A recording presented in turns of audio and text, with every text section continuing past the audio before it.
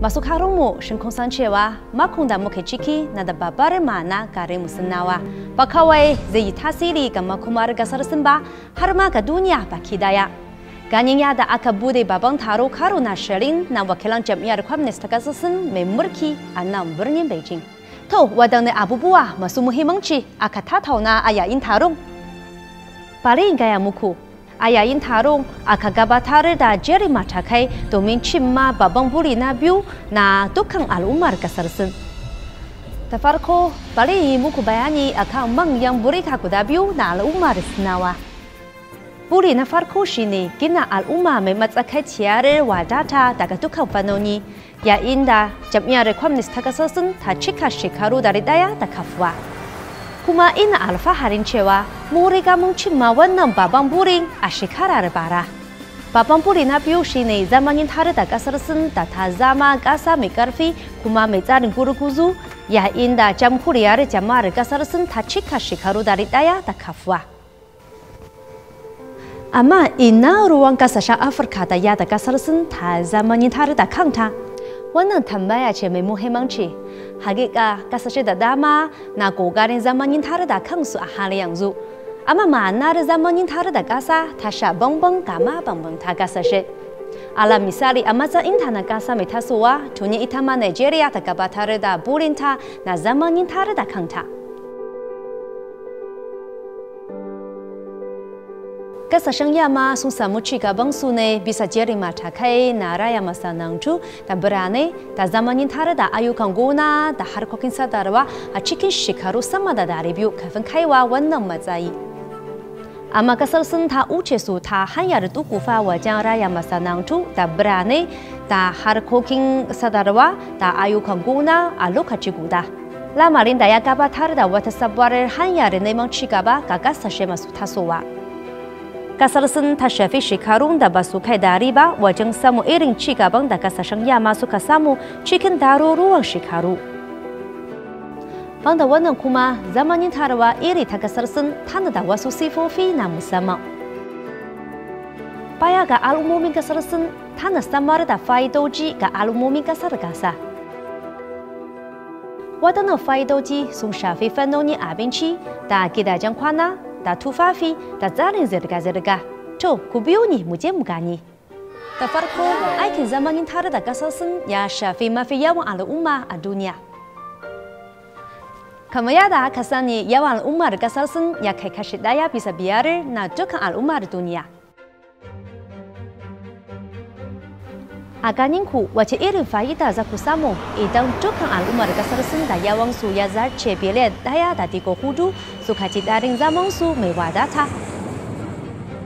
A cikin shekaru arba'in da suka gabata, bisa ga ma'aunin ƙanƙin talauci da bankin duniya ya tsara, yawan al'ummar Sin masu fama da talauci ya ragu da kusan miliyan takwas, wanda ya kai sama da kaso biyar cikin dari bisa na al'ummar duniya gaba ɗaya. Na biyu, sassauta matsalar ƙarancin abinci a duniya. Har yanzu wasu ƙasashe na fama da matsalar ƙarancin abinci mai tsanani. Sinawa kan ce, abinci abu ne mafi muhimmanci ga al'umma. A matsayinta na ƙasa da ta fi samar da hatsi a duniya, sun ta tabbatar da samar da isasshen abinci ga kaso ashirin na al'ummar duniya.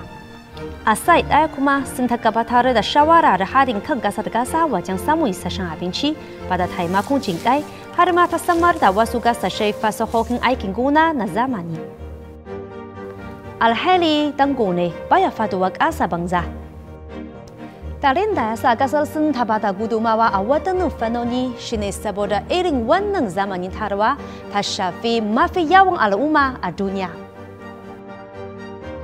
Tabbas lamarin zai taimaka wajen warware matsalolin da duniya ke fuskanta. Haka kuma ƙasar sun na neman samun wadata na bai ɗaya yayin da take ƙoƙarin zamanin tare da kanta. Sinawa kan ce babu wanda za bari a baya. Duniya babban iyali ne, babu wanda ya fi wani ya kamata mu samu wadata tare. Don haka wannan na nufin cewa gasar sun zata gara buɗe ƙofar ta ga waje ka samar da ƙarin damamaki ga kasuwannin duniya a ƙoƙarin farfado da tattalin arzikin duniya baki ɗaya. wato ƙasar Sin za ta sayar da hajojinta a duniya da kuma shigo da hajojin ƙasar kasa cikin kasuwarta ta yada za hada kan al'ummomin duniya ta hanyar saye da sayarwa. Bugu da gari kuma ƙasar Sin na neman samar da wani kyakkyawan muhallin halittu yayin da take ƙoƙarin zamanin tare da kanta.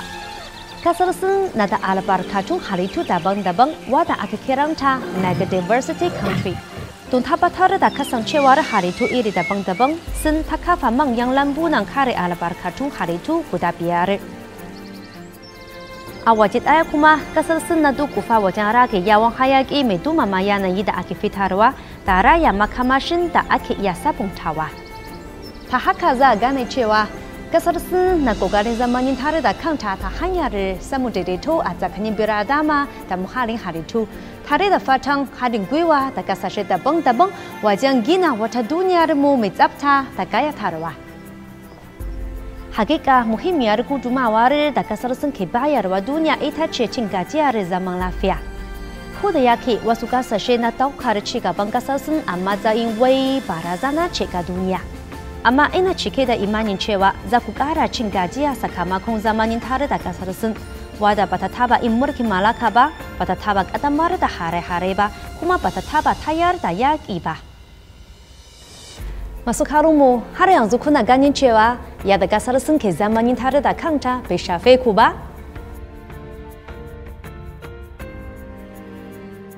Kara manta duk wanda yake da zama a duniyarmu yana da makoma ta bai ɗaya.